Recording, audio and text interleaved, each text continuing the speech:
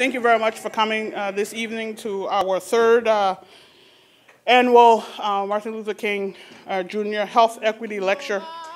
My name is Margaret Tandoh, and I'm the Associate Dean for uh, Diversity Inclusion here at the um, College of Medicine.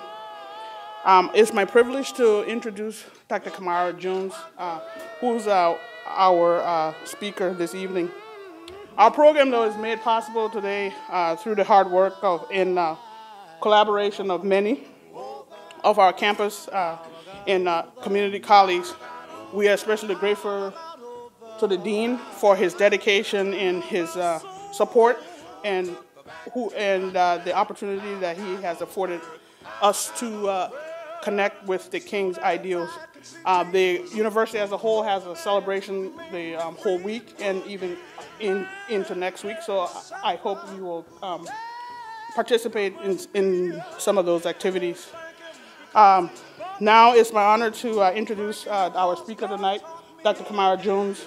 Uh, let me just say she had a rough time getting here, um, which is a little understatement. I was in the uh, operating room about 12:30, finishing up a case, and texting Tiffany, "Is she here yet, Tiffany?" And then I, at one point I sent her, I said, "I bet you she doesn't even come in tonight." But uh, she made it almost at, um, around one. She was able to get in from Atlanta. Um, and uh, she's been a joy, and uh, it's really my uh, honor to um, have her here today. Uh, she is uh, the current president of the American Public Health Association and also the senior fellow at the Satcher Health Leadership Institute and Cardiovascular Research Institute at Morehouse School of Medicine. Dr. Jones is an epidemiologist uh, whose work focuses on the impact of racism on the health and well-being of the uh, nation.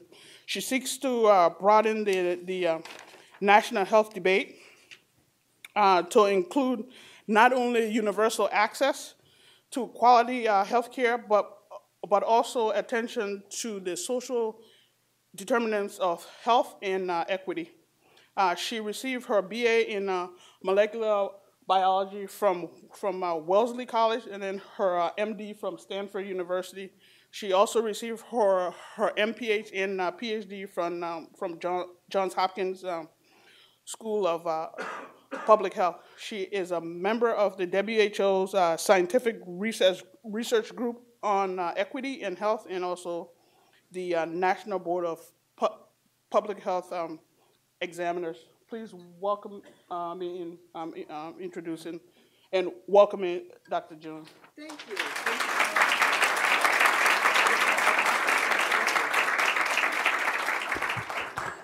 Thank you, Dr. Tandoh. Thank you for everybody for being here. Um, it's my pleasure, first of all, to bring greetings from the American Public Health Association, um, but where my presidential initiative is to launch a national campaign against racism. So I am going to share with you some thoughts. First of all, why I, as a physician and epidemiologist, will be talking about racism. So I'm going to start with like a cartoon animation to help explain that. And then I'll turn into what is racism and basically say why I would come to Vermont to talk about racism. After all, in the airport, so I was in the airport for 18 hours.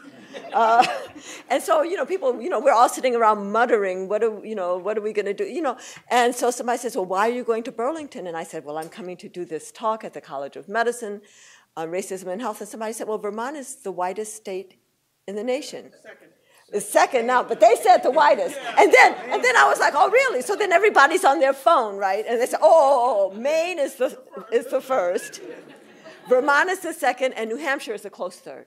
Okay, so we're all up here in the, in the Northeast. So I'll share with you some insights about why I think all of us to have, need to have a national campaign against racism. I'll share with you some data on racism and health, and then I'll close out with some more of my allegories, my teaching stories, which make it much easier for us to have conversations about this topic, which sometimes makes people feel afraid, guilty, angry, sad. There are lots of reactions, but I think that we can have a very productive conversation about the impacts of racism on the health and well being of the nation. So let me get started. So I'm going to start first with a cartoon animation which is all about levels of health intervention. Here we go. Do, do, do, do, do, do, do, do. Oops! Boom! Somebody just fell off of the cliff of good health. And if that were you or somebody in your family, you would be delighted to find an ambulance at the bottom of the cliff to speed you on to care. But if we were concerned about others who might come along that cliff face, if we were concerned about population health or community health or public health, we might well ask ourselves what can we put in place as a health intervention besides just stationing lots of ambulances at the bottom? So somebody's going to say, I know, I know, no. Let's, let's put a net halfway down, right? Because at least if people fall, we can catch them before they get crunched up at the bottom. And that's an excellent idea. Although, you know, nets do have holes in them. So some people might fall through the cracks. But we could even make that a trampoline halfway down. No holes in a trampoline, right? But even if we have a trampoline halfway down that cliff, we might find ourselves with lots of people just bouncing up and down at half functionality, not able to get back to the top of the cliff. So, what else could we put in place as a health intervention? Well, we could put a fence at the edge of the cliff to keep people from falling in the first place. Great idea. But that's going to have to be a very, very strong fence if there's a lot of population pressure against it. So, what else can we do as a health intervention? Well, we can move the population away from the edge of the cliff. So, I'm going to label the interventions that I've described so far, where the ambulance at the bottom of the cliff clearly represents medical care and what we in public health describe as tertiary prevention. So, in public health, we talk about three levels of prevention primary, secondary, and tertiary, where tertiary prevention is preventing the complications from illness that's already manifest. For example, preventing amputations from diabetes and the like. The net or trampoline halfway down, these are our safety net programs and secondary prevention, where secondary prevention is about early detection, screening programs, so, um, you know, maybe prenatal care type of thing. The fence represents primary prevention, keeping things from happening in the first place, perhaps immunizations and the like. And moving the population away from the edge of the cliff is the whole discussion we're having in the public health side of things now about addressing the social determinants of health. The determinants of health and illness that are outside of the individual, beyond our genes, beyond our individual behaviors, and in fact, the context of our lives. The context that even makes people have certain behaviors or make the behaviors that all of us might share dangerous in one circumstance and not in, in the other. So these social determinants of health include things like poverty or wealth. They include neighborhood conditions like do you live where there's a, a sidewalk or not? Is it do you have street lights in a city context? You know, is it safe for you to, even to walk in your neighborhood? Are the playgrounds where the children can, you know, frolic and commune with nature? Is that where drugs are being sold? Do you live in a so-called food desert? All of these kinds of neighborhood contextual factors. So, you know, we could have a conversation about infant mortality where the ambulance might be our neonatal intensive care units and the net could be prenatal care. The fence might be our women, infants, and children maternal nutrition programs. Moving the population might be having excellent educational opportunities so that young girls didn't have babies as early. You know, we could use this cliff to go and march up to the State House and talk about how we need to be spending, you know, how should we spend our resources? How much should be in ambulances versus all of these other things. We could talk to a community about this. As useful as the diagram so far could be, however, there's a huge fatal flaw. And the flaw so far is that it does not address how health disparities arise. So I want you to keep this cliff in the back of your mind. We're going to shift gears for just a moment to talk about how health disparities arise on three levels, and then we'll come back to the cliff. So how do health disparities arise? Well, especially when you're considering racial ethnic health disparities, we unfortunately have lots of evidence about differences in the quality of care received even within the same healthcare system. So even within the VA system, or even for everybody covered by Medicaid or Medicare, the Institute of Medicine in 2002 reviewed what were then hundreds of studies. If we were to do the same thing today, it would be thousands of studies documenting differences in for example, how vigorously your chest pain might be investigated, depending on your race or your ethnicity, or differences in how much pain medication you might get if you walked into an emergency department with a long bone fracture, depending on your ethnicity or your race. But even that Institute of Medicine panel, in their unequal treatment report, they recognize that it wasn't all what was happening within the healthcare system because there's a second level at which health disparities arise, which is access to the healthcare system in the first place. But then all of us in this room need to recognize that there's a third level at which health disparities arise because health is not created within the health sector. And so that third level are differences in the conditions of our lives, differences in our underlying, you know, life opportunities or exposures or stresses that are making some individuals and communities sicker than others in the first place. And when you think about these three levels at which health disparities arise, differences in quality of care, differences in access to care, and differences in underlying exposures and opportunities, really it's like a pyramid. Or better yet, it's like a huge iceberg, where the huge hidden base of it are the differences in the quality of our lives. And then those people who often are the ones who've been made sicker are usually the same ones who are frustrated because of limited access to the healthcare system. And then even the lucky ones who get into the healthcare system are sometimes further injured because of differences in quality of care. So now I want to go back to the cliff thinking about these three levels at which health disparities arise. But now we're going to recognize that we're not dealing with a flat two dimensional cliff, but actually, ba we're dealing with a three dimensional cliff. And at some parts of the cliff, there might be an ambulance there, but maybe that ambulance has a flat tire. So it slower goes off in the wrong direction. Or maybe there's no ambulance there at all, and maybe there's no net nor fence, and usually at those parts of the cliff, the population is being pushed closer to the edge. So now I'm going to describe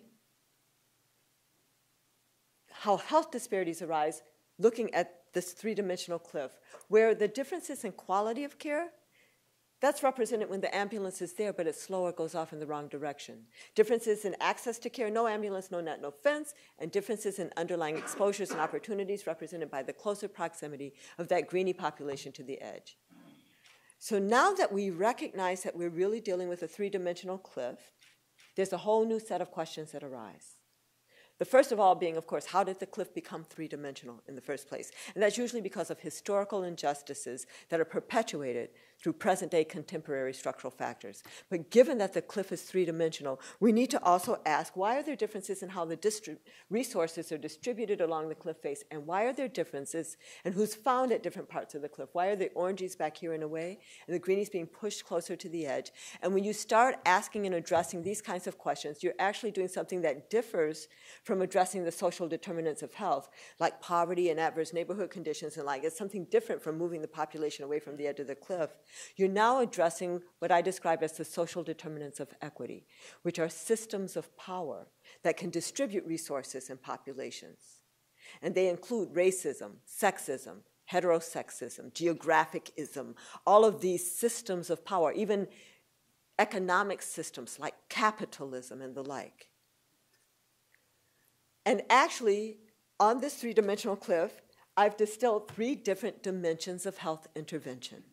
Where if you go back to your junior high or high school geometry, you know, one dimension is a line, two dimensions is a flat plane, three dimensions is space. In that line along the edge of the cliff is where we could display all of our curative and preventive health services. You know, when we talk about the Affordable Care Act, or we talk even about universal access to high quality health care, this is what we're talking about, right? And that's a very important conversation that we need to have. We need, I would hope that everybody in this room would endorse universal access to high quality health care. But we have to recognize that that in and of itself is not going to result in large and sustained improvements in health outcomes or the elimination of health disparities. The reason we want that is because that's how a civilized society values all of its people equally. But as stellar as the health care system is and as universal as the access is, if everybody's crowded up against that fence, we can overwhelm any system. So in, we must also address the social determinants of health. We have to go into that second dimension and move the population away from the edge of the cliff, addressing poverty and adverse housing conditions and educational opportunities and criminal justice system and like we need to move the population away from the edge of the cliff if we're going to have large and sustained improvements in health outcomes but if we do that without recognizing that we're really dealing with a three-dimensional cliff we're at risk of moving some of the population away from the cliff, but not all of the population, and we're actually at risk of making health disparities worse. So we must acknowledge and address the three dimensionality of the cliff and be all about having equity in terms of distribution of resources and you know, moving everybody away from the edge of the cliff if we're going to achieve social justice and eliminate health disparities. So we have to name and address racism, sexism, heterosexism, capitalism, and the like if we're going to achieve social justice. Now, I didn't say at the very beginning, but I do not want this to be me lecturing at you. We are a small and intimate enough group that at any point, if you have a question you want to ask, a challenge, an amen, anything, I take it all. So I actually am about to shift gears. So I would like to invite at least one person to ask me a question about this cliff before I.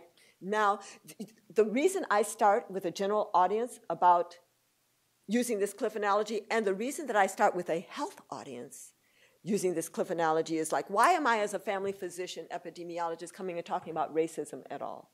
And it's because racism is one of those social determinants of equity. We, if we're going to do anything, we can do have all of our little ambulances set up there. I know I'm speaking to many people who are trying to become the best ambulance driver they can be. I understand where I am. I'm at a medical school with medical students and medical faculty, right? And we're all about being the best ambulance driver we can be. And we need that ambulance, and we need it fast, and we need it on, you know, to be on. But we also need to recognize that there's all this other stuff that, first of all, can keep our patient prop, you know, population at the bottom of the cliff down, that all of this is part of the health enterprise. And even if we as individuals are trying to be the best ambulance driver we can be, as a citizen, we can be all about moving the population away from the edge of the cliff and addressing the social determinants of equity. So I just wanted to say that. And now I'd like to take at least one question. I see one back here. Yes.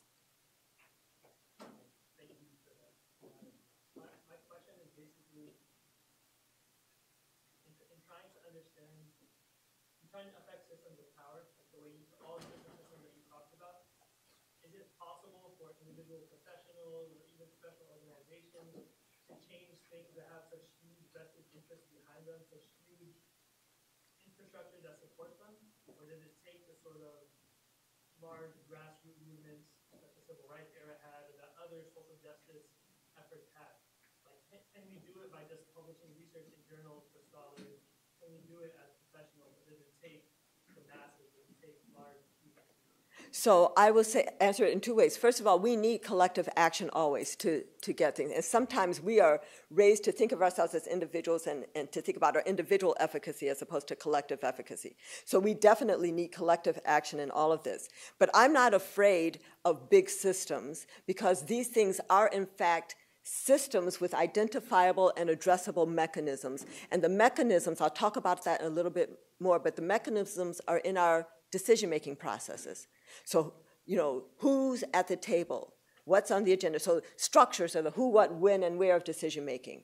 Policies are the written how of decision making. Practices and norms are the unwritten how of decision making, and values are the why. And we can interrogate you know, racism, sexism, heterosexism, all of these things, capitalism, by looking at these mechanisms of decision making you know, and, and, and, and ask the question, how is racism operating here, for example, and attack that. But I do agree that we need to have, each of us can be agenda setters in our own little setting, so we can name racism. We can ask, how is racism operating here? But then we have to organize and strategize to act with others. We can start in our little groups. It's, if you are the only one in your setting saying racism, then people are going to marginalize you in a minute. Okay, there, there she goes again right? Chip on her shoulder, right? So I do recommend that if you're going to start in your department or in your class or your little study group or whatever, that uh, I'm going to share with you some, some allegories that can help get the conversation started. And you use one of these allegories. You say, Oh, I just went to a talk and I heard this thing. Here's a four page paper. Let's discuss this next week. And then out of the conversation around that, then you will identify your allies. Then you get off with your allies and say, Okay, so what are we going to do now? Right? So it's sort of a stealth way of identifying allies. But yes, collective action is necessary, but each of us, we can't wait. We have to start that, and it's going to be like little, little niduses, you know, starting, and then we coalesce. But the agenda setting, I actually think that, um, especially with regard to racism, we have to say the whole word racism. We can't stop with race or, you know, there are a lot of things, you know, diversity is important, inclusion is important, discrimination, implicit bias, all, all, of these things, you know, cultural competence, very important things for us to be talking about race. But we have to say the whole word racism, and I haven't even defined it for you yet. I will in a sec. But we have to say that if we're going to really, otherwise, we're complicit with the denial. Okay.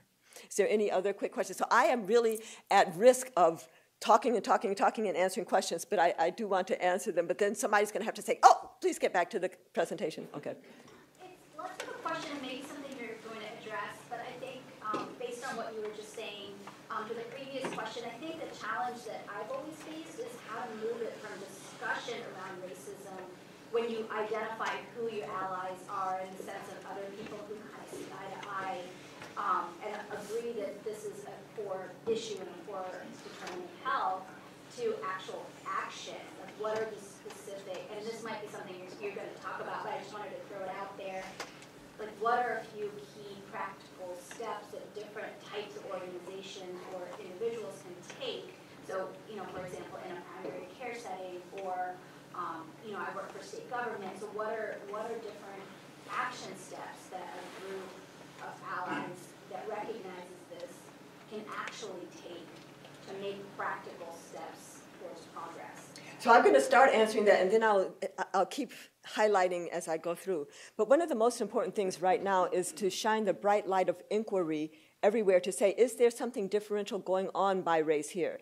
Now, at first, you know, 30 years ago, if you were to ask a group of physicians, do you think that, that the vigorousness of, of you know, treating a heart attack differs by race? Oh, no, no, because we're all good hearted people, we're all physicians. People would be in denial. Now we know it's very well documented. That's because people shone the bright light of inquiry in the VA system, first of all, and then at other systems to say, is there something happening differentially in terms of outcomes? So shining the bright light of inquiry. But then we don't need to just stop there. We need to shift not just from outcomes to opportunities. So we need to say, well, what's happening here in terms of uh, opportunity structures, you know, neighborhoods, job opportunities, schooling opportunities. Is there something differential going on here? Is there something, people are talking a lot now about health impact assessment, you know, so if somebody proposes to build a highway, what is the health impact assessment? We need to extend that to equity impact assessment. Are there predictable differential impacts on different populations if we take this policy or if we do nothing? And one of the hardest things, when I'm going to talk about this in a minute, but um, often institutionalized racism shows up as inaction in the face of need. So are we not acting when action is called for? Is there neglect or inattention? Uh, Flint, Michigan. Oh my God. Okay. Why is there no response if it were a different population? You know, so that kind of thing. So, so to, to pay attention to the absence of, when you find yourself at a decision making table, look around and say, well, who is not here at this table who has an interest in this proceeding? And then you don't just try to represent them, you try to find them over time away to the table. Agenda setting, things that, if we're parts of organizations, don't just do like, you know, the party every year. I mean, like, try to work on some real work. Ask the question, how is racism operating here? Looking at structures, policies, practices, norms, and values. So, so I'm going to do a tinker with that and then ask it again and see if there, at the end, I might even think of other things. But it, does that get you started? Yes. It's part of it is just really believing that this is not a big cloud or a miasma that we can't get a handle on. This is a real system with identifiable and addressable mechanisms. Yes. Basically, your, your paradigm here, the clip from the three dimension set, that um, it's real consistent with the, uh, the situation, the, contrast that's often called out between Scandinavian countries and the U.S. in cost of health care and the outcome of health care. They spend mm. much less, they get much better outcomes there than we, we, we in the world. Right. But if you look at the Scandinavian countries and you look at the, the income redistribution and the educational opportunities uh, and the quality of education, they, they spend a great deal on addressing the social determinants of equity in mm-hmm. the first place. Put those together, it doesn't look as different. Uh, right they get a lot of their effect uh, because of the, of the, the social terms of equity investments they make in the first place. Right. I would say, so I would say that the investments that I'm looking, I would even call them the social determinants of health investments, so that they're doing a lot of the contextual things. I actually haven't looked at some of the Scandinavian countries in terms of their equity pieces. Are, are they, are they carefully looking at for example, so-called immigrants or you know gypsies or migrant workers or who you know who might be coming there. So I don't know, but I agree with you. I saw a, a, a graph last week that was looking at the OECD, whatever you know, oh, the advanced. I, I forget what it stands for. Nations, the proportion.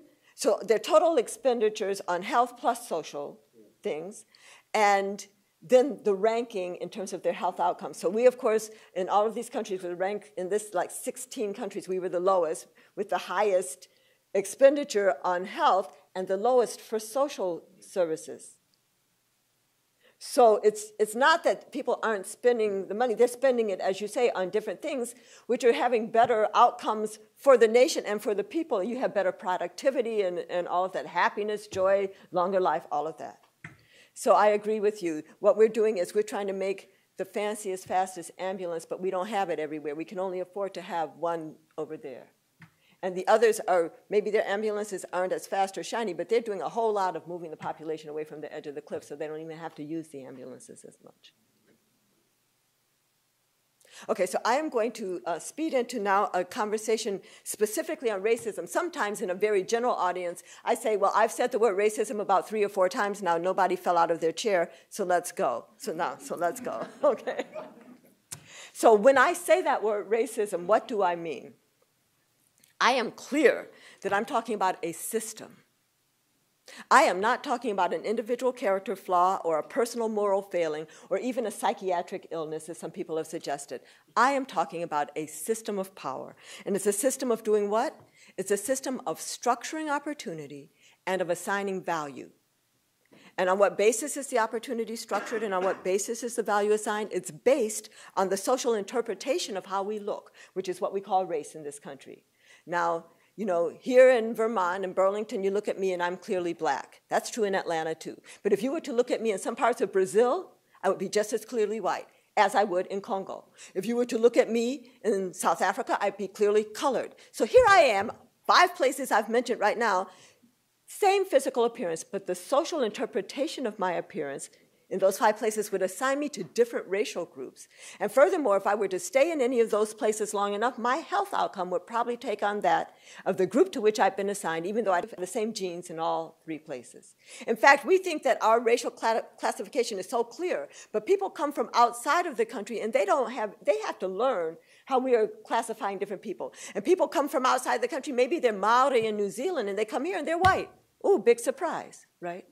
So, so this is race as a social construct, as the social interpretation, how we look, and racism as a system of structuring opportunity and assigning value based on so called race. What are the impacts of this system?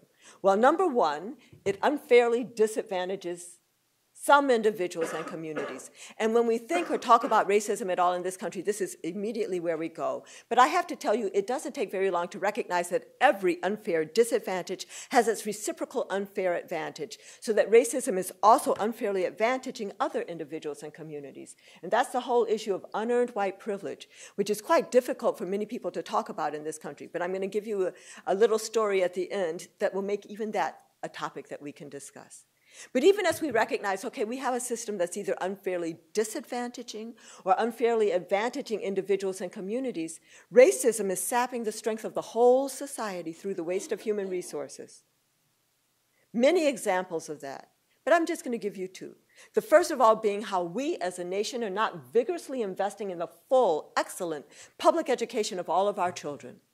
Because the blinders of racism that don't value all of us equally are making us believe that there is no genius in the barrios or in the ghettos or on the reservations or in the refugee resettlement areas, right? We can get along very well, thank you, without those kids. But of course, there is genius in all of our communities. And if we were to vigorously invest in that genius, we could be doing so much better as a nation or even as a world. I have, I have often said that we would already be up on Mars farming if that were a good thing to do, if we were to invest in all of that genius, right? Another example of how racism and these blinders that don't value all of us equally impact, you know, sap the strength of the whole society is how it has made us as a nation complacent. with what I describe as the wholesale warehousing disproportionately of so many of our black and brown men in the prison system. As if that did not separate us from human potential, right?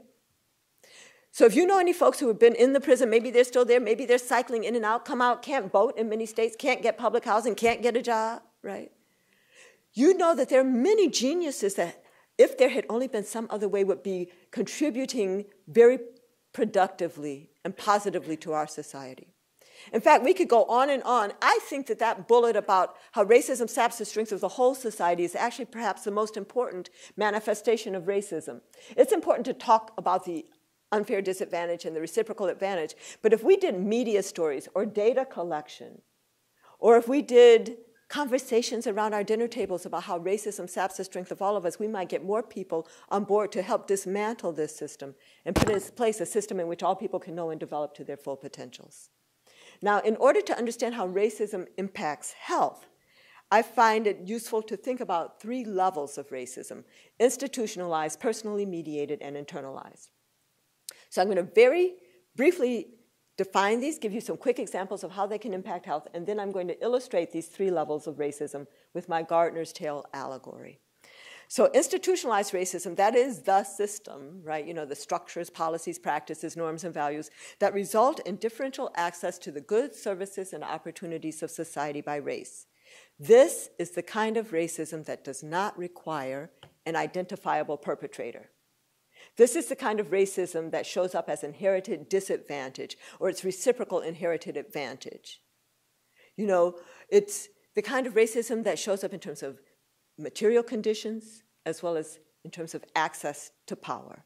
So examples include differential access to housing by race or differential access to excellent educational opportunities or equal employment opportunities or even the same level of income at the same level of employment and these things clearly impact health. Differential access to medical facilities, including linguistic access to medical facilities. Differential access to a clean environment, including the very well documented disproportionate placement of toxic dump sites in communities of color or bus transfer stations in communities of color.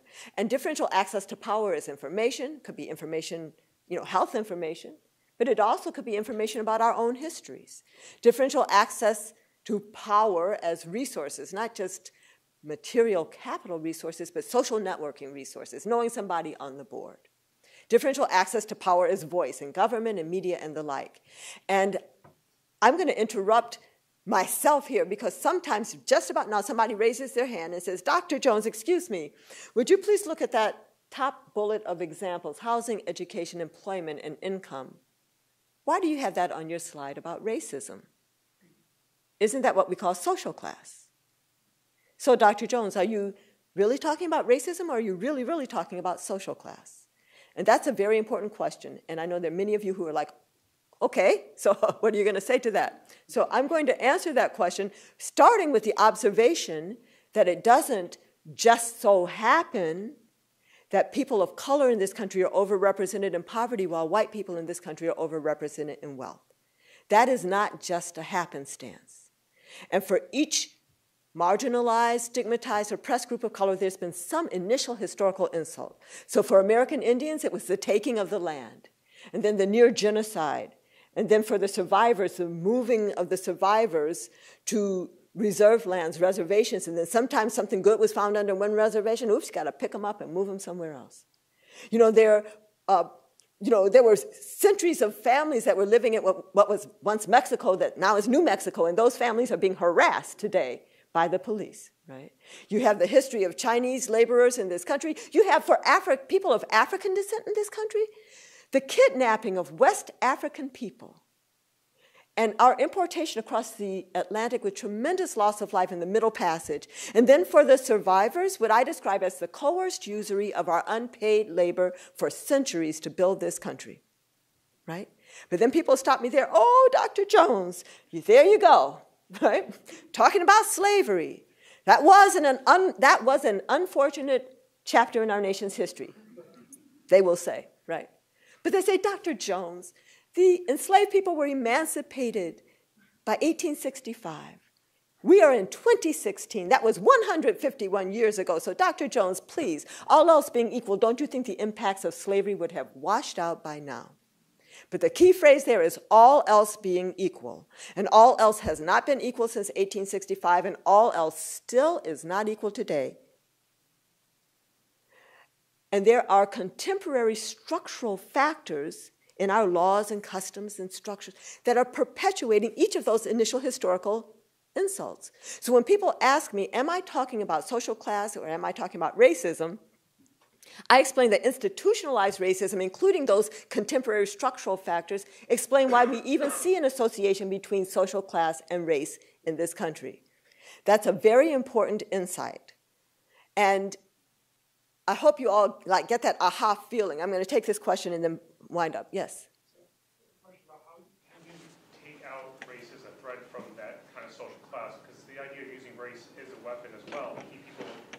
The poor turned against the poor. Race Right. is used as the weapon to do so.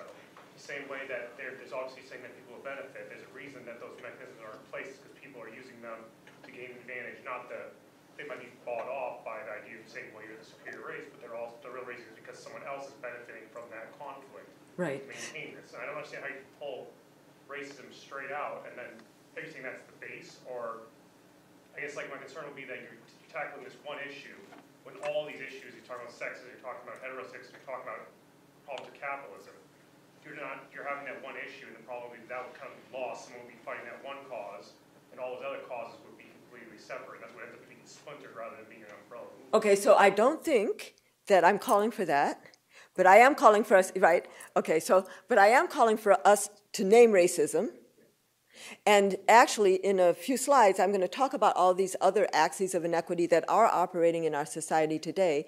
But as I do that, my work is on race as the axis of inequity and racism as a system because it's foundational in our nation's history. So you might have a different argument about what's foundational in our nation's history. Maybe that's where we, where we might differ. But I, I agree with you that racism has created this this fiction of race has been used to separate you know white sharecroppers from black sharecroppers right? It's been used to separate white union members from blacks who would unionize but are not allowed to. So there's a long history of race being used to separate people who would on the face of it have common collective interest because because poor white folks want to feel like they're at least better than somebody, right? And all of our imagery in this nation and all vilifies black people. People come from other countries, they come from Thailand, whatever, they don't want to be black. People come from, from the Caribbean, they don't want their kids to be associating with African American kids. People come from the African continent and they were like, well, what's wrong with these black people here? Until their children grow up and then have the same psychology because they're surrounded with images of, you know, black folks being taken off in handcuffs. You know, I was, when I was in Baltimore, Maryland, as a doctoral student, two things. First, uh, one of my colleagues from Nigeria had a three year old son, and she said, Camara, what should I do? My son just asked me, when I grow up, are they going to take me away in handcuffs? And I said, You need to finish your dissertation and get out of here, right? That's what she needed to do to save her son. But I don't have any place to save my son. So I just have to surround him with positive images and books and talks and, and, and prayers, you know, like that. But, that, but then at, around that same time, we, there was news that there was a middle school principal who was arrested for selling marijuana to her students. When we did not see her picture on the six o'clock news, what did we know? She was white. We couldn't even confirm that for two weeks. We didn't see her picture for two weeks. Huh? She wasn't. If she was a black man, right, she'd be right up on, he'd be right up there. He would be right up there. If he were a black man, we would know immediately. Right. Yes. So can I ask you what, if, since you're talking about racism, on our main campus in our, in our diversity courses, um, our instructors are now starting to talk white supremacy. Yeah. And to call that, that is the proper language for the legacy of, of what's happened in this country. And I'm, I'm just wondering if you. That's an element of it. So I think that white supremacist ideology is the valuation piece of it. But I think, so I define racism as a system of structuring opportunity and assigning value. So white supremacy undergirds that valuation piece of it, but the opportunity structure isn't addressed by that ideology. That ideology then results in the, in the structuring of opportunity. But I think we have to address the structuring of opportunity well, because nobody has to feel like they're better than anybody else for our for the for the legacy of poor neighborhoods with poorly funded schools and therefore poor educational opportunities and another generation lost to continue without active intervention, without anybody thinking they're better than anybody, right? It's already, the structures have already been put in place. And as I was about to say, when I close up on institutionalized racism, I say that it can be through acts of doing, acts of commission, as well as acts of not doing, acts of omission, and very often in, institutionalized racism shows up as inaction in the face of need, right? So that even though the funding of public schools based on local property taxes was not something that was a race based strategy, blah, blah, blah. When we see that it differentially has adverse impacts on communities of color who are in poor neighborhoods with poorly funded schools, and we do not act, that inaction in the face of need is a reflection of racism. So, so I just need to say that too. So white supremacist ideology, clearly, you know, that's the value piece. This opportunity structure is, is another piece. Other questions or comments? I am loving that you guys are talking, right? And that you have these very sophisticated questions, I have to say. It's very good. So I'm going to move on to the second level of racism that I describe personally mediated racism, which I define as the differential assumptions about the abilities, motives, and intents of others by race, and then differential actions based on those assumptions. So, this is what most people think of when they hear the word racism somebody did something to somebody. You know, it includes the different idea, the prejudice, and then the different action, the discrimination. Many people would call this interpersonal racism. I call it personally mediated racism, although my mouth twists up every time I say that, because I am still understanding racism as a system, and this is the system mediated through people. Examples of how it can impact your health include police brutality. I used to, I used to talk about imagine you were pulled over for driving while black or driving while Latino and then interpreted as resisting arrest and hit upside the head or worse. Now I just can give you a litany of names. I can give you Eric Garner and Mike Brown and Freddie Gray and Walter Scott and Tamir Rice. And, and I can give you Trayvon Martin, wasn't even a police officer, some self appointed neighborhood watchman who saw that young boy and said, That boy did not belong here. And Trayvon wasn't even allowed to stand his own ground. Talk about stand your ground when you're being pursued by some grown man, you know. So on and on and on. So we have many examples now that are well known to all of us. These things didn't just start happening. These things have been happening for, for centuries and decades. There have been communities that have been known about this, and there have been people trying to make complaints to police, you know, and, and the unions, there's a, the blue wall of silence, and you know, there's a whole thing about that, right? But now because we have dash cams, we have cell phone videos and all, we are knowing more about these things. There's still not the accountability that we need. But so police brutality can clearly impact not only the health of people who have been directly impacted, but the health of family members who worry about their sons and daughters, their husbands and wives every day. Physician disrespect, which can be as subtle as a physician not giving a patient the full range of treatment options. Because the physician figures, well, that patient couldn't afford or wouldn't comply or wouldn't understand, right? Or whatever it is that they assume. But that physician disrespect can also be quite blatant, like sterilization abuse, which has many iterations in our nation's history. I see my OBGYN colleague shaking her head. Absolutely.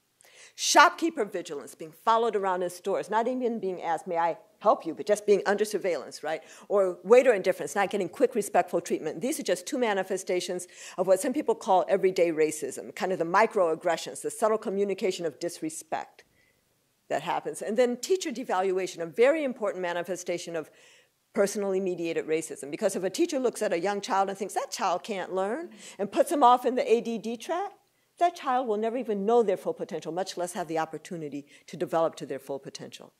Now, personally mediated racism, like institutionalized, can be through acts of doing, acts of commission, as well as acts of not doing, acts of omission. But even more important is that personally mediated racism can be unintentional as well as intentional. That is, you do not have to have intended to do something racist to have had a racist impact. The third level of racism that I describe, internalized racism, I'm speaking right now from the point of view of members of the stigmatized races, and I define it as acceptance by members of the stigmatized races of negative messages about our own abilities and intrinsic worth. Now, people who do anti-racism training would say, well, what about the internalized sense of entitlement that many white people are walking around with? Isn't that also internalized racism? And I have to agree. And I think maybe I haven't given enough attention to that. I sort of package that off as a background norm type of thing with my institutionalized. So right now, I am talking from the point of view of members of the stigmatized races. How can this impact our health? Self-devaluation, feeling maybe I'm really not as good as. Maybe I shouldn't try to graduate from high school or apply to that college or try to become a doctor or try to live in that neighborhood. And that self-devaluation also turns into fratricide, so black on black or Latino on Latino crime, because if you don't value yourself, you won't value others that look like you and you just assume off them as not. The white man's ice is colder syndrome. That phraseology comes from my parents' generation and what it meant in those days and what it still means today for many. Say you're a black person and you need a lawyer, you might seek out a white lawyer mm-hmm, over a black lawyer, or you might go look for a white doctor over a black doctor. In fact, if your water was warm, you mo- might go way down the street to get the white man's ice over the black man's ice, deeply believing that the white man's ice is colder, deeply internalizing the myth of white superiority.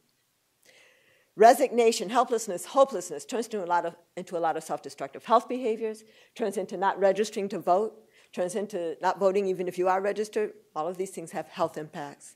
And really, internalized racism is about members of the stigmatized races accepting limitations to our own full humanity of the box into which we've been placed. So when we hear young high school students of color, one of them's trying to be the valedictorian and the friends are saying, oh, you know, so-and-so is just trying to be white, we need to challenge that. Because since when did white people claim exclusive access to excellence? They did not.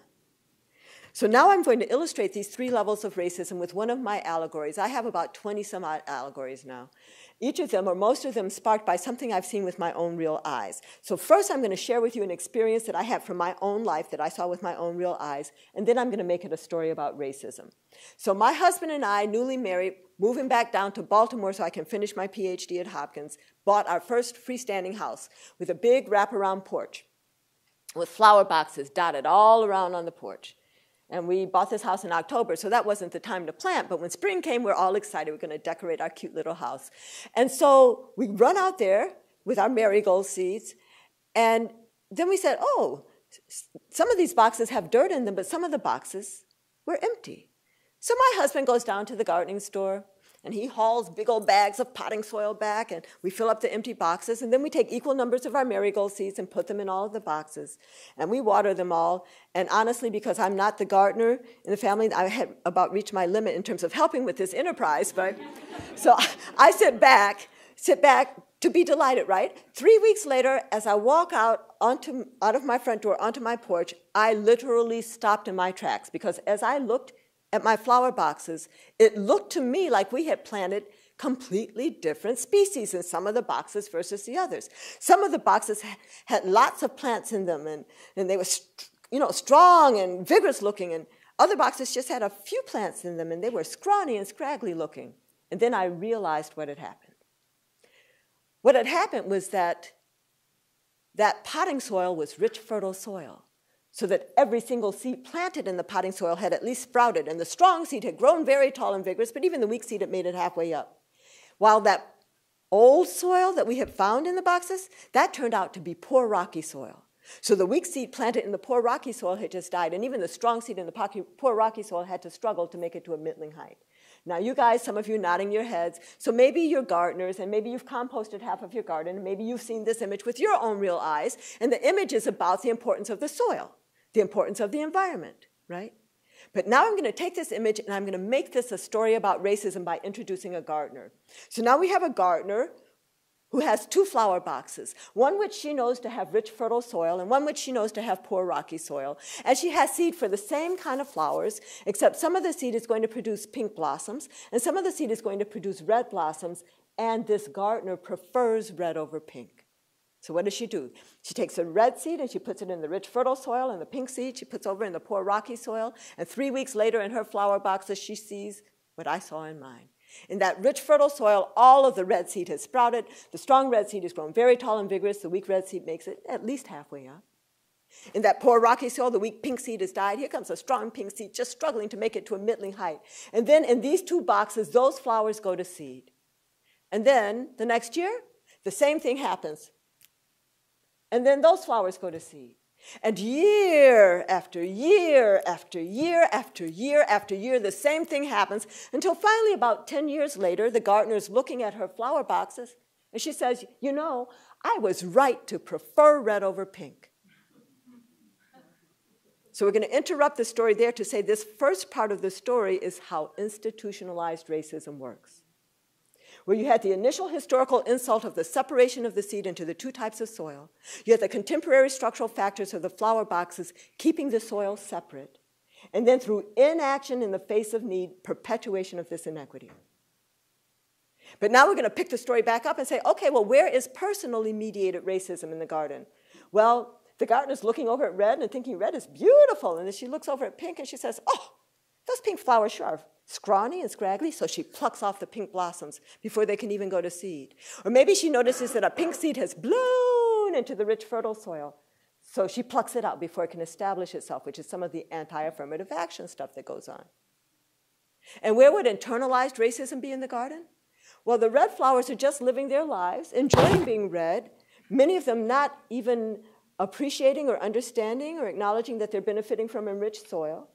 The pink flowers are looking over at red, thinking, mm, red is mighty fine, and wishing with all their hearts that they too could be red. And then here come the bees, and the bees are minding their own business, right? Collecting nectar and pollinating. But here comes a bee, and it goes into one of these pink flowers, and then bzz, to another pink flower, then bzz, to this pink flower, and this flower's like, Get away from me, bee! Don't bring me any of that pink pollen. I prefer the red. Because the pink flower has internalized that red is better than pink. So now the question arises what do we do to set things right in this garden?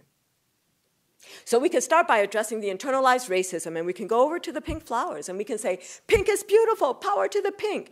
And that is an important intervention. But if that's all we do, it's not going to change the conditions in which the pink flowers find themselves. So you say, okay, well, let's deal with the personally mediated racism. So let's go have a conversation with the gardener. Or better yet, let's have a workplace multicultural workshop for the gardener. It's all good. It's all good. It's all good. I endorse, highly endorse, right? Okay. So, so we have, these folks are cracking up over here. So we have our workshop. And in the workshop, we say, Dear gardener, would you please stop plucking those pink flowers? And maybe she will, and maybe she won't. But even if she stops plucking the pink flowers, it's still not going to change the condition in which they find themselves.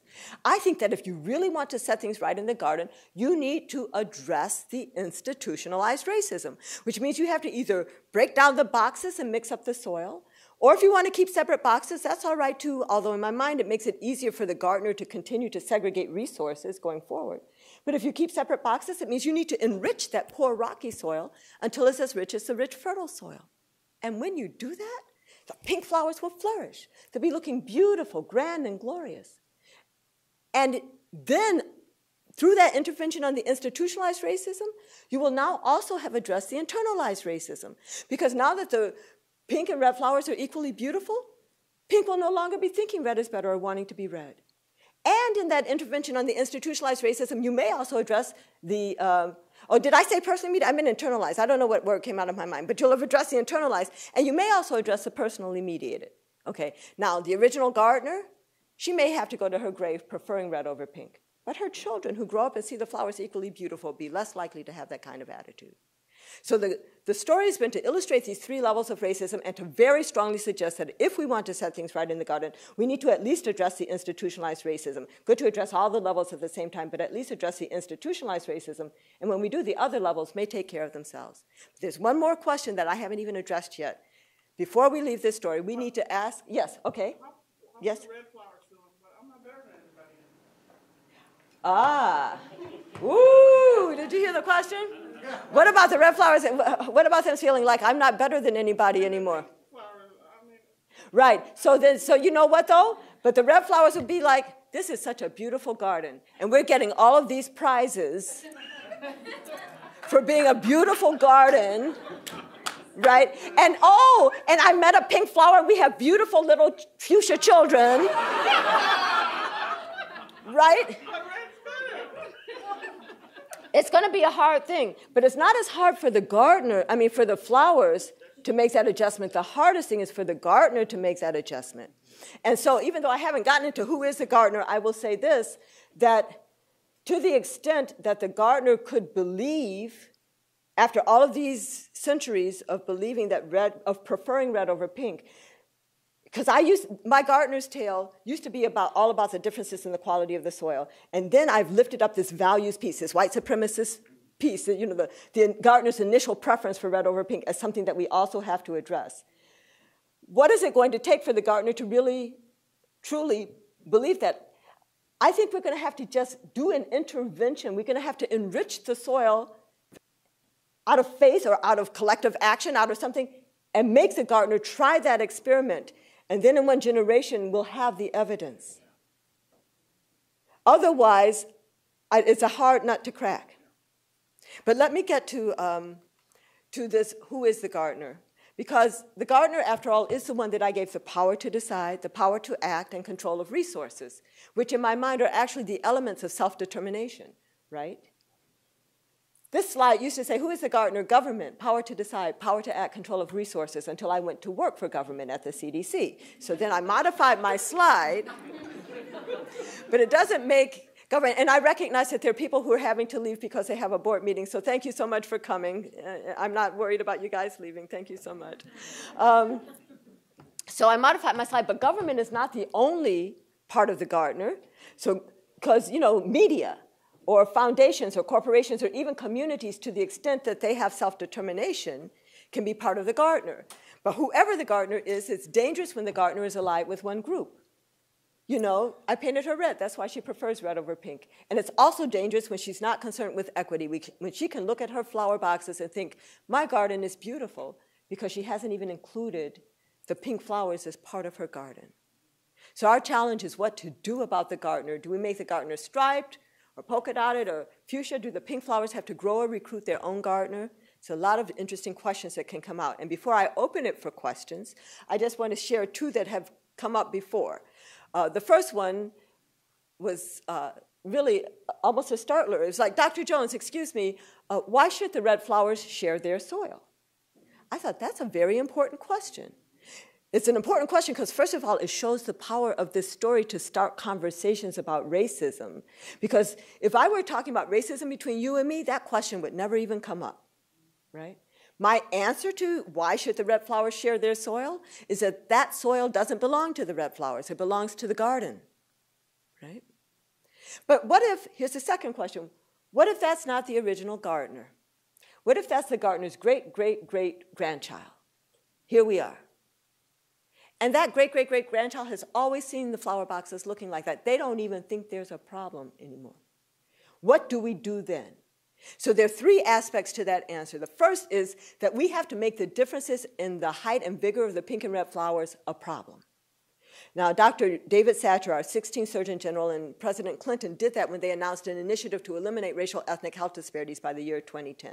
They were saying, we are no longer going to try to take black infant mortality and white infant mortality and do this. No, decrease them all, but not worry about. We are going to try to eliminate that gap.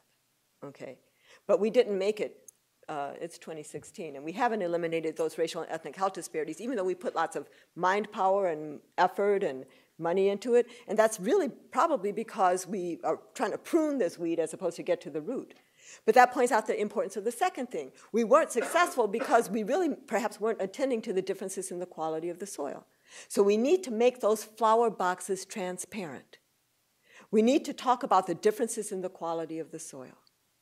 But then the third thing is maybe even more important because if they're transparent, then we have to make it very clear that that pink soil didn't just jump over into that poor rocky soil. We have to talk about history at every decision making table and in all of it. We are an ahistorical society. We need to teach our own full histories, right? And we need to talk about the gardener's agency in all of this. And this is where, you know, my gardener's tale used to be about differences in the quality of the soil. And then I recognized that if we equalize things today, but that gardener continued to prefer red over pink, she would find ways to continue to favor, privilege red over pink, and we have to do the values piece, the work that we were talking about earlier. So I'm about to leave the Gardener's Tale. Any questions or comments? Yes. Okay, here first and then here. Um, I just want to make a comment about kind of what Dr. Tandoh was saying, um, with the red flowers and whatnot. I guess like one way that I've sort of been able to conceptualize racism and what it does to people of color and also to white people is just like the ability that racism has to like sap every person of their humanity a bit, which you mentioned with humanity, but I also think like, when I think about what racism does to me as a white person, like I really think it takes part of my humanity away in the ways that I participate in racism benefited from racism. I feel less human. Um, and so I think that like if racism were to be eliminated, and if all the flowers were the same, you know, the same vigor and whatnot, that I think that the red flowers and the white people would really be able to feel more fully human as a result of like the other folks and the other flowers also reaching their full human or flower potential. I think that's right too. I actually, you know, so I used to teach at the Harvard School of Public Health, and my classes were usually at least half white because I mean that's who's at the Harvard School of Public Health, right? Um, and so I would, you know, we would do look at measures of racism. We did all kinds of stuff in the semester, but I would also do some of the storytelling, and at the end I would challenge my students to write a short allegory to explain some aspect of race or racism to their grandmother or to a neighbor. And many of the white students' stories were about that very thing, about the loss that they have in terms of friendships, in terms of humanity, in terms of being fearful or, you know, whatever, because of racism still being there. And, and I never like hammered that in, but that was, that was the feeling of many people, that there is a loss, even as they're feeling better than in their minds, but, but that, that maybe that better than taking is taking a, a, taking a part of their mind that was their human part. You know, that maybe that it's the same space and you can't have it in both, and so they're losing the humanity in that. Yes? Uh, yeah, with the flower boxes, I love this analogy, and I imagine they become transparent. We can see, we can start trying to equalize them. But in my understanding of changing the system, at least when I think about the public school system, you can't keep them separate. They will never Be equal. ever. And so I'm not advocating for keeping them separate, but I also do- don't want to tell people that they can't because we could if we were vigilant. We would have to be vigilant. Theoretically, we would have to be very vigilant if we want to. But what would be the point at that point? Right now, the point of the separation is all about distribution of resources and risks, right?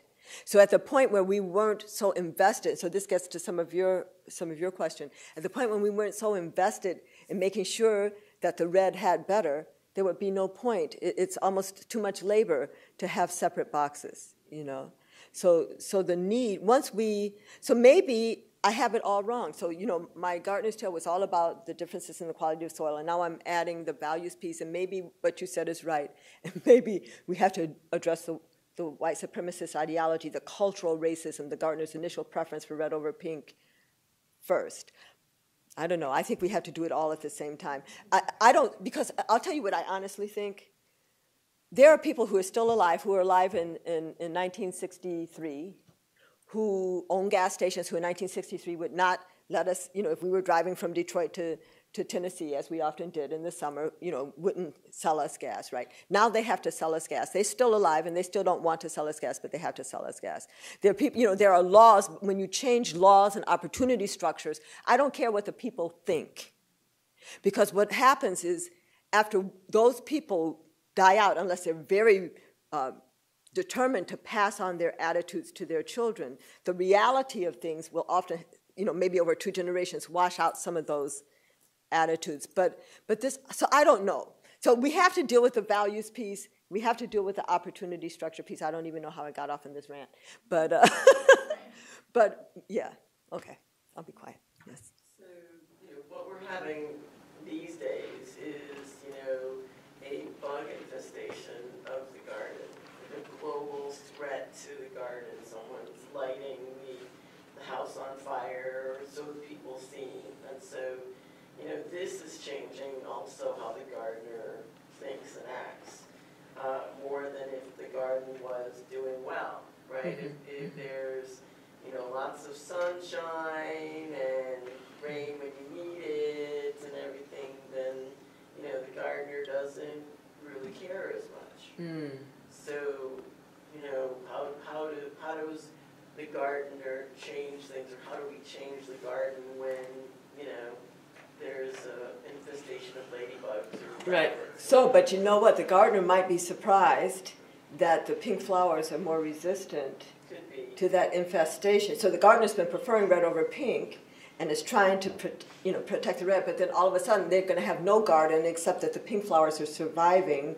The pink flowers actually actually have been selected for survival and strength all the time, but under this new assault, there might be some advantage that the gardener never imagined and may still refuse to see or acknowledge but but that but maybe there maybe it's something like that that has to even interrupt the gardener's strong learned preference for red over pink. So, I, to pick up on what Maggie said, I think this is one of the things that's making this very hard to have this conversation, because I do think that, that white people are losing their humanity, and to talk about racism and confront racism makes them feel um, bad, stereotype, threat type thing. But at the same time, that's hard on the other side to see, I think, to see white people then focusing on how racism is impacting them is not just a manifestation of white privilege. To sort of um, turn the tables back again. And i- until, until that part of the conversation can happen, like, okay, you've lost some of your humanity, but that doesn't mean this is an equal loss. Right, And we still have to move forward together. Right. It- it- right, because I'm not only losing part of my humanity, I'm losing my life, or you know, you know, or my, my kids will never learn, or you know, I mean, they've been neurologically damaged, for, like, you know, I mean, all of this stuff. So, so um, we all have a part in it. I don't think she was saying, no. So okay, just, just yeah, just give me a little pass. I didn't think so. Right, but I understand what you're saying that that that people saying. So I think it's important for white people to recognize the many impacts that racism has on them. At the health department this morning, we had a conversation, and you know, it was like, you know, Vermont is the second whitest state in the nation, so you know, sometimes people feel like this is an irrelevant conversation and all. And I said, aren't there white people here? you know, but, but white people are thinking, I'm just human, I'm not part of this racialized conversation unless there's somebody else here. Because white people don't even recognize their whiteness. They just, are, all of us are fully human, but white people sort of can have the luxury to live that full humanity and not in a racialized way in this country. So, so um, I don't know where I was going with that either, but do you know where I was going with that? Well, I think, the- I think the idea of white guilt Yes. can stop the conversation. So, so the white, the white guilt. So let me put it this way: I don't go. I am so careful to describe racism as a system that I'm not in the business of saying who's racist and who's not, because all of us are racist. I'm going to tell you why we're all racist. I'm racist too. Most of my racism is against me and people like me, but you know we're we're all racist. It's almost as if you imagine that racism is a cement factory spewing cement dust. And if you are near that cement factory for two years, two months, two weeks, you're going to have cement dust in your lungs. And the only way not to have cement dust in your lungs, and you're going to stay here, is to put on a gas mask. That is to become actively anti racist. And the job is not just for you to put that on to protect yourself, but you're going to put that on, try to have other, and then you're going to try to shut down the cement factory. Right? So, but I'm not in the job of saying, okay, you're okay and you're not, right? We are all racist. We all have things that, and as long as we, if we grew up here, I don't know how we're going to shed it, right? But even people who come here will develop those attitudes and they'll see the same images and all, and, and those children will grow up and have the same limiting ideas about their possibility. So racism is a system, and it's affecting all of us. So don't come and saying, oh, well, please stamp me okay. I'm not in that business. I'm talking about the system. I'm not even judging who's racist. And I, I am assuming we are all racist. That is not even a question in my mind. Yes. part of the conversation is sort of up on a few of the themes here that um, as a white person, as a male person, I get to be in that, and the air I breathe is privilege, etc. And I may not even be aware of what I'm losing, whether it's humanity, but I may be a little more conscious of what I might be losing if I ally. So I'm going to be protecting my privilege, whether I'm conscious of it or not. Right. And so every moment of the day, I'm going to make individual choices about whether I'm an ally or not an ally. And not even consciously, not even consciously, not even consciously. So this is the whole thing of, you know, why should the red flowers share their soil? It's, it's, it's the question again, like, what am I going to lose if I even acknowledge racism? And it gets back to this, this question, because people don't know what they're losing now. That's why the conversation about how it saps the strength of the whole society is a very important conversation. Because if I recognize that because of my white skin privilege, I do have advantages, and I'm not recognizing how, even with those individual advantages, the society that I'm enjoying, the society I'm leaving to my children, is sapped of its full vitality and possibility. If I'm not aware of that loss, then I will think I only have my interests to protect. So that's why I think it's important for us to talk about how racism saps the strength of the whole society. I recognize it's a, you know, I, people would say, oh, well, just hold us harmless. You know, let's, let's fill the other, so, you know, flower pot, but, um, but don't take any of my soil. That may not be possible unless we go to the defense garden over there and take all the fertilizer. right, you know. So, okay. The second part I was going to say, and I forgot it until now, is, um, and then picking up what um, was said just a moment ago about the, um, the messages that I think I'm hearing in a lot of political camp season of the fear being raised of otherness. And Uh-huh. that makes me more, com- more scared of um, more at risk. And I Hold on, I'm, I'm trying to do something, and I, I want to look at you, but I want to also get this, because I see people are having to leave, and there's one more story. If you don't have to leave uh, for the next five minutes, then stay, because this is a, an amazing story too. And somebody who knows how to do this, help me. Oh, it started again. Okay, so, so get me to the dual reality. Okay, so now I'm back with you. So, um, I think the, the message that we're hearing so much in particularly this campaign season is sort of generating fear of particularly white males and who don't have much else to lose except their white maleness.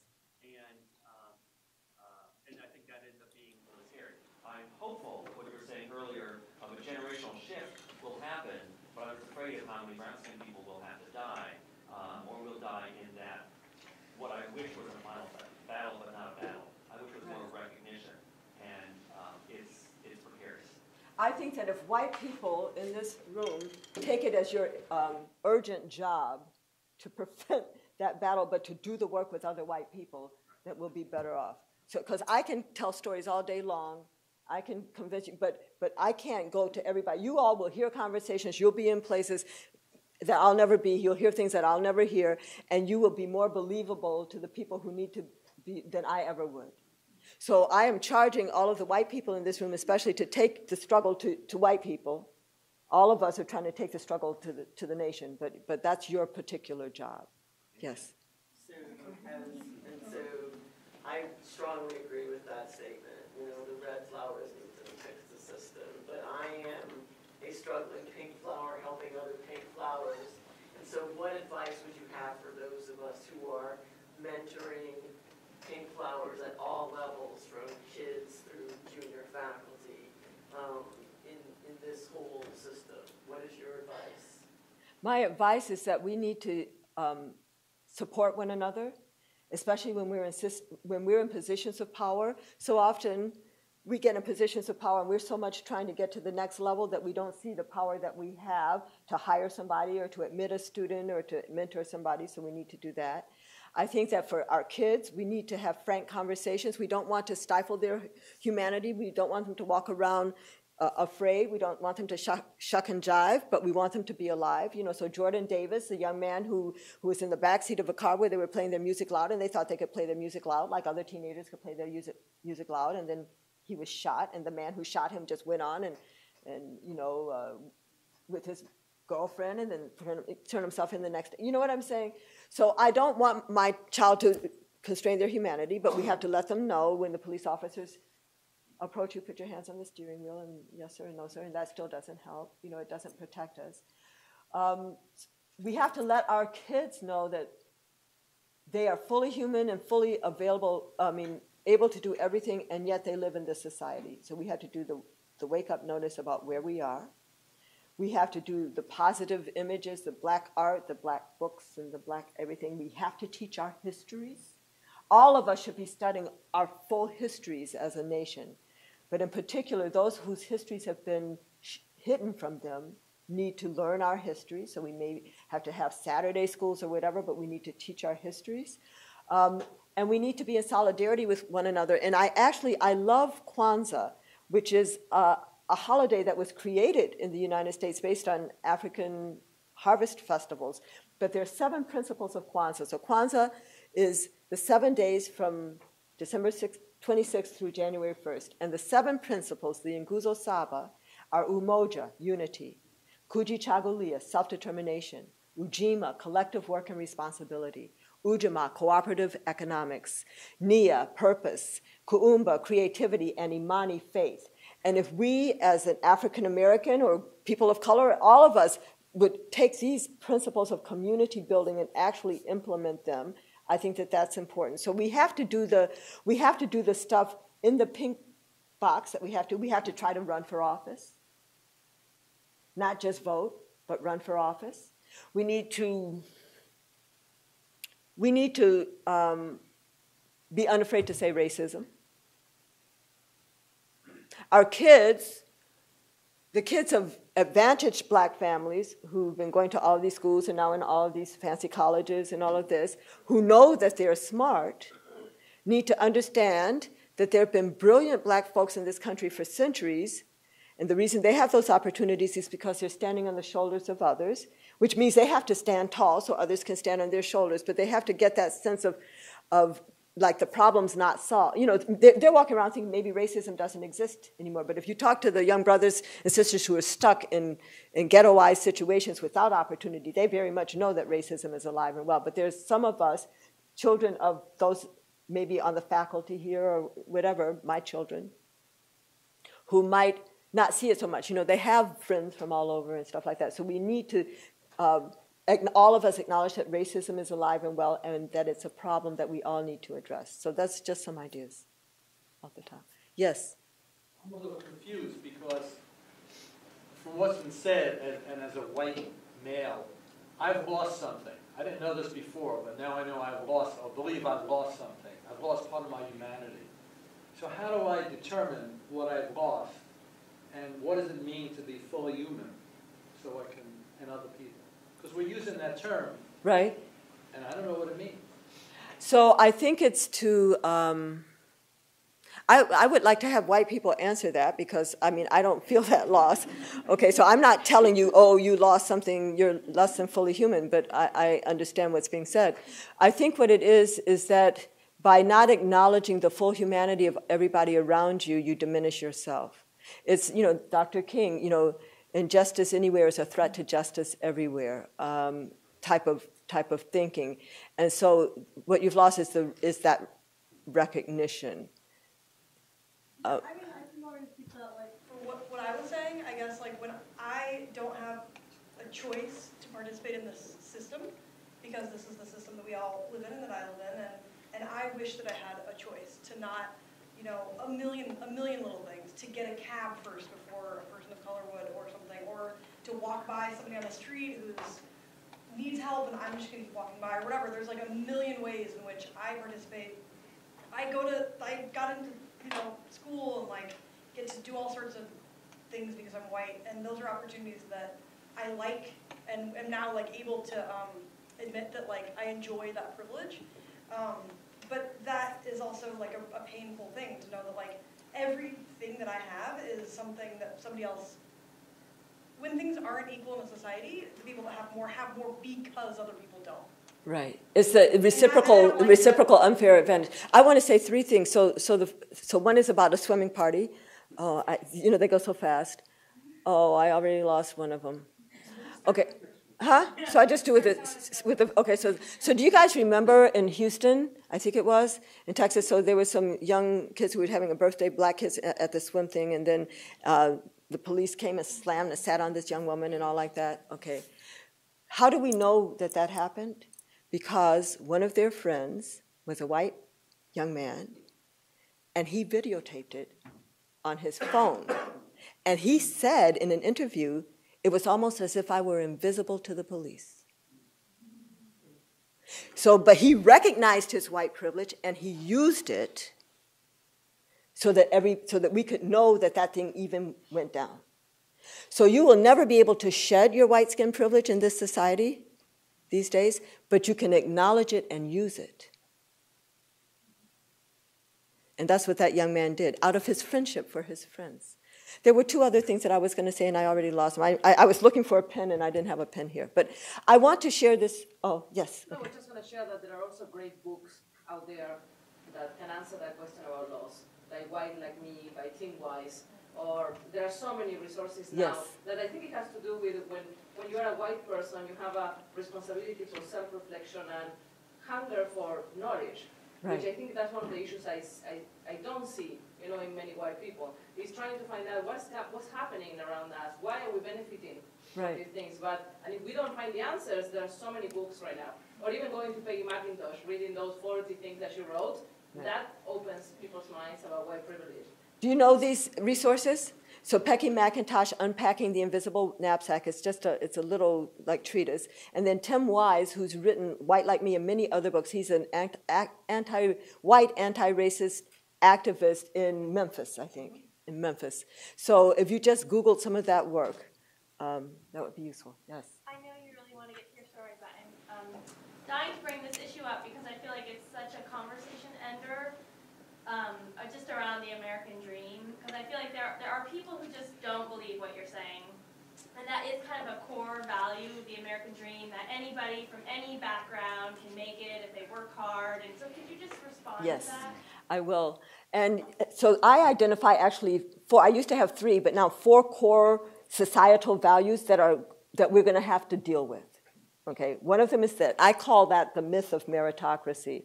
So the, the, the, meritocracy story goes something like this if you work hard, you'll make it.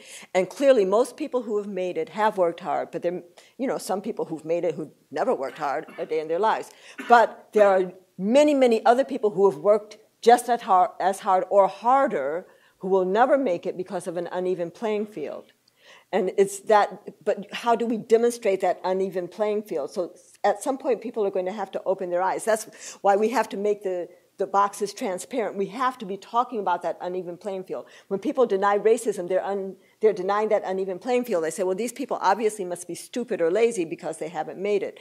So that's a very strong mythology in our, in our thing. We have to challenge that by showing the real differences in resources and risks, the real differences and opportunities. We can do that as epidemiologists or as journalists or whatever. So that myth of meritocracy is one thing. A second is that we're very ahistorical in this society. So we believe that Things have always been the way they were when we were born and always going to be that way. It makes structures permanent and systems kind of immutable. And we need to challenge that, right? Then the third one is the inordinate focus on the individual. Pull yourself up by your bootstraps. And we don't even, the individual doesn't even sometimes include our cousins, you know, like we're very nuclear family. And it makes um, systems and, and structures irrelevant. Even if we could see them, they're irrelevant. And then the fourth is this, this kind of American exceptionalism thing, which makes us not look around to see who's doing things better. You know, the American exceptionalism makes our gardener not even want to walk down the street to see how other people's gardens are looking and what they did to get them that way, right? So, um, so I, those are hard things. How do we deal with it? I think we have to really shine the bright light of, you know, of inquiry and of differences. There are real differences in opportunities and life exposures and stresses and all that. We have to be talking about those things. I do want to share this, and then um, I appreciate you saying, what time is it actually? seven. Okay, so I, am not too bad, right? Weren't we supposed to go to seven? Yeah, okay. Oh, whoa! Okay. So this is actually one of my other allegories. I was going to share three other allegories. I was going to talk to you about how, I am going to say one thing before I share this. That definition I gave you of racism can be generalized to be a definition of any system of structured inequity. This is in answer to a question you raised earlier. So you could say, what is sexism? That's a system of structuring opportunity and assigning value based on gender that unfairly disadvantages some, unfairly advantages others, and saps the strength of the whole society through the waste of human resources. And there are many of axes of inequity operating in our society, intersecting in communities and individuals. So, I mean, I could pull that slide up, but I don't know how to do it. So I just tell you, you know, so they include things like, you know, gender and, and uh, nationality, language, uh, immigration status, geography, lots and lots of axes of inequity operating. And so, as I said earlier, I recognize those. I'm not like, oh, racism is the only, only thing going on. I recognize, but because racism is foundational in our nation's history, and yet many people are in denial of its continued existence and profound impacts on the health and well-being, not just of people of color, but of the whole nation, I think that it's imperative for us to name racism, to ask how is racism operating here, and to organize and strategize to act. I think that that is our priority, and when, as we do so, then these other things will learn from how we're doing it or have ancillary benefits or whatever. So, so that's why I focus my work on race as the axis of inequity and racism as the system. I'm not trying to say whose oppression is worse than others. I'm not trying to play any of this. I'm not trying to splinter any kind of joint movement, but we must name racism. Um, so I'm going to tell this. This um, allegory, and this is how I'll close, was when I was um, a medical student at Stanford, and I, we were studying late in an apartment, and we got hungry, and there was no food in the apartment, so we decided that we're going to walk into town and find something to eat. So we go into town, and we find a restaurant, and we sit down, and you know, menus are given to us and we place our order and the food is served and we're eating. Here we are. Not a remarkable story so far. Many of you people have had that experience of going into a restaurant and ordering food. But as I sat there eating, I glanced across the room, I looked up and I noticed a sign, and the sign was a profound revelation to me about racism. So now you're wondering, like, really? In Palo Alto? right. What did the sign say? Sign said, open. You're like, what? Okay, so here, picture this. Here I am, sitting at the table of opportunity, eating, and I glance up and I see a sign that says open.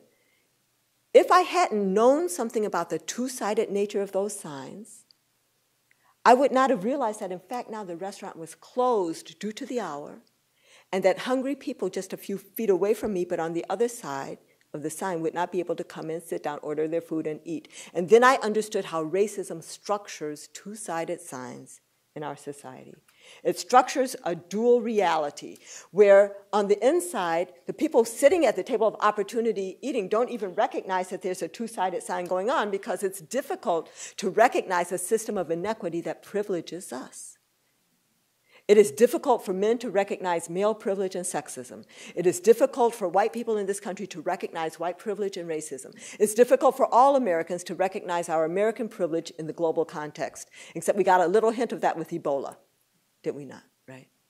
Yet, those on the outside recognize very well that there's a two sided sign going on because it proclaims closed to them, and yet they can look through the window and see people inside eating. So, for those on the inside who's saying, is there really a two-sided sign? Does racism really exist? I acknowledge it's hard to know when you only see open. In fact, that's part of your privilege, not to have to know. But once you do know, you can choose to act. So it's not a scary thing to name racism or to understand it. It's an empowering thing. It doesn't compel you act to act, but you can choose to act.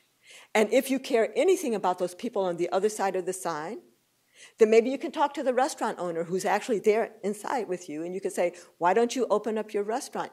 You, you know, there are hungry people outside. You'll make more money, and oh, the conversations we can have, right? Or maybe you'll pass food through the door, or help break down the glass, or tear down the sign, or whatever it is, but you won't be sitting there saying, hmm, I wonder why those people don't just walk in and sit down and eat. Because you'll understand something about the two sided nature of the sign. If you have two more minutes, I can close with my conveyor belt analogy. You have two more minutes for that one? Okay. So for this one, I'm actually going to move. So, so this doesn't come from something from my own real life. This image actually is borrowed from the book Why Are All the Black Kids Sitting Together in the Cafeteria and Other Conversations About Race by Dr. Beverly Daniel Tatum, who just retired as being president of Spelman College. In her book, she has an image, I'll describe the image, and then I elaborate on her image to talk about how we become actively anti racist. So, in her book, she describes racism basically as a conveyor belt. And most people just on the conveyor belt living their lives, they're not trying to go toward racism or through racism, but inexorably they are surrounded by racism and going toward racism. And if they just looked up, you know, there's a big sign that says racism, racism, right, right? But most people are just living their lives, going to work, going to school, whatever. There might be some who look up and see racism and then they close their eyes because they're in denial, but they keep just doing their work and on, on this conveyor belt. Some people might look up and see racism and they turn around. They, they don't want to see it. They don't want, but they're still on the same conveyor belt, so maybe they're colorblind, right? Here we are on the conveyor belt. I'm going to put us on the conveyor belt. And I'm going to expand on, on this to say, here we are on the conveyor belt, and now we look up and we see racism, and we don't want to go there. So, what do we do? We have to turn around at least and start walking at least as fast as the conveyor belt is moving, just to stay in the same place, not to get deeper into it, right? And what happens if you start walking backwards on a crowded conveyor belt? You start bumping into people, and they're like, hey, Watch it, buddy, where are you going? And this is your stage. Well, I didn't say this, that racism is most often passes, but this is your chance to do the first of three stages of being actively anti racist. That stage is to name racism, to say, Do you see where we're going? Do you want to go there? Or will you turn around with me? And most people will say, Hey, just get out of my way. Don't bother me because they don't want to be disturbed out of their complacence but maybe one or two will turn with you. So now you have two or three of you walking backwards and you keep bumping into people and naming racism and more, you keep inviting more more people to turn with you and never 50% will turn. Don't worry about it. But as you get more and more turning with you, now you've built up enough momentum not just to stay in the same place, but now you can make a little headway away from racism, but not really just away from racism. You are trying to get to the motor that is making this system work. So now here you are, and oh my God, it's there. There's the motor. I see it. So now this is your chance to do the second of the three stages of being actively anti-racist, which is to ask the question, how is racism operating here? Looking at the mechanisms of decision making, looking at structures, the who, what, when, and where of decision making, policies, the written how, practices, the unwritten how, and, and norms, the unwritten how, and values, the why and you have to say, how is racism operating here? And lo and behold, I think it's this lever. So I pull up on the lever, and the system starts stuttering, and I did it, I did it, I got part of racism. But you know, it's a very fancy system. So it reconfigures itself and it keeps on going, which points out the very important thing that we were discussing earlier up here. The third stage of being actively anti racist is actually to organize and strategize to act. So as I'm pulling up on this lever, I need you to push that button. And I need you to pull on the levy, and I need you to swing that lever, whatever it is. And all of us working together can dismantle this system and put in its place a system in which all of us can know and develop to our full potential. And that is our challenge. I uh, honestly believe some of these I didn't show you. There was an allegory that I had about Japanese lanterns. It was race as a social construct. I shared with you dual reality about racism creating this open close sign and life on a conveyor belt moving to action. I am here in Vermont talking about racism with you because all of us need to be all in on this. As APHA president, American Public Health Association president, I am launching a national campaign against racism, inviting national organizations and community groups and all to join with us in naming racism, ask how is racism operating here, and organizing and strategizing to act. And I hope you guys are on board too. Thank you very much.